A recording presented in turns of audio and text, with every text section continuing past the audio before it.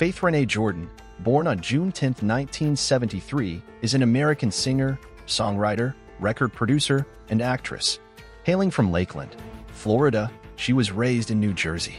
On August 4, 1994, Evans tied the knot with the rapper and label mate Christopher, the notorious B.I.G. Wallace. The story unfolds when Evans entered the studio to record the 1995 track, Wonder Why They Call You Bitch, with Tupac.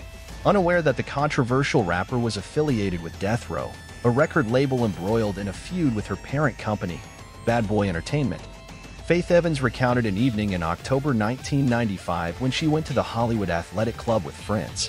Upon entering, she encountered Treach from Naughty by Nature and introduced him to her friends. Treach then informed her that Tupac wanted to meet her, pointing to a table behind him. Despite rumors about Tupac's involvement with Biggie's wife, Faith Evans, she clarified that there was no reason for her to avoid meeting Tupac that night. Faith Evans stated to DJ Vlad, upon entering the studio, I noticed several individuals associated with death row. In my mind, I began piecing things together at that moment.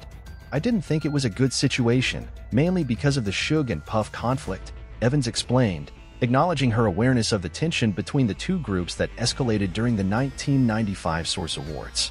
Even though I wasn't fully aware of the details of what happened, it was evident that he took a shot at Puff at the Source Awards and such.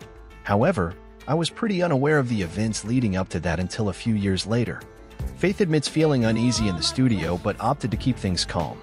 When it came time for Pac to settle the $25,000 she claimed she was owed, Evans went to the rapper's hotel to collect. It was there that she alleges Tupac requested oral sex. He inquired in a manner that was both surprising and offensive, without a doubt. By that point, it became evident to me that it seemed like some sort of premeditated scheme, explained Evans. I unintentionally let myself be manipulated and found myself in this situation, as this is not at all aligned with my usual way of operating. This is not how I conduct business, and there was never any discussion about it being an exchange. That wasn't the purpose. In June 1996, Tupac recorded and filmed the iconic diss track of the East Coast slash West Coast rivalry, Hit 'em Up. Subscribe to the channel here and stay tuned for the next videos. See you later.